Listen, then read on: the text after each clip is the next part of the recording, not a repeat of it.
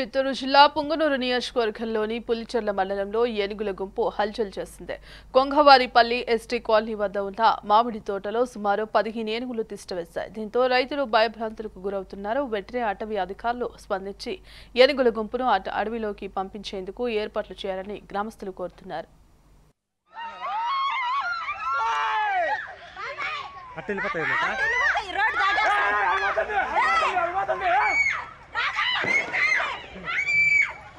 వెళ్ళిపోతాయి అన్నమాట ఇంకా వస్తారు ఇదిగో. అయ్యో అయ్యో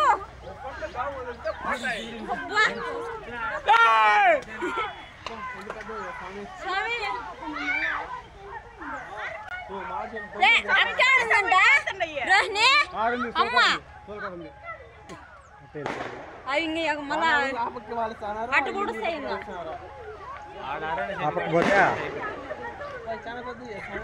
Were you